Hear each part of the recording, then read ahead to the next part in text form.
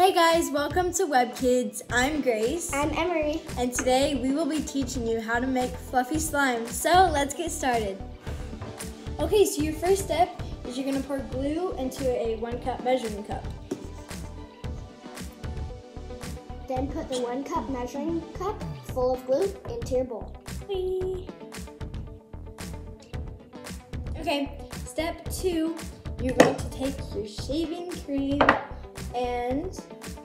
same measuring cup, you're going to put in one cup of shaving cream. Step three, mix. Okay, your next step is to add food coloring. This is optional.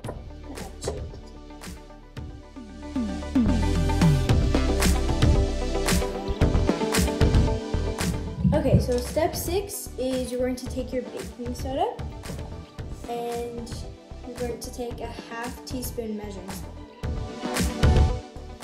until it's flat. Step seven, mix.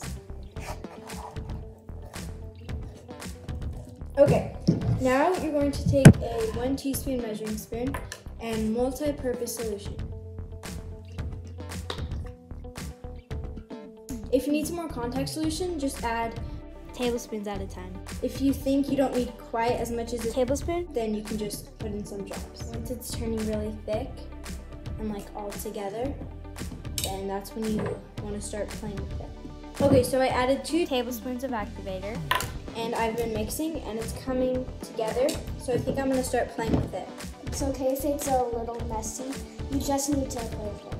Then it'll start to get together and it'll form. What I like to do when working it is I take like a chunk like this and then I work it until it's completely good. And then I'm just gonna take little pieces from my big pile. So it'll just keep growing. Okay guys, so this is how our slime turned out. It's thick, stretchy, and so fluffy. Keep it in a tight container.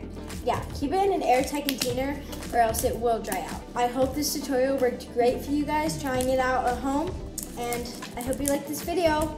Like, Bye. comment, subscribe. Bye. Bye.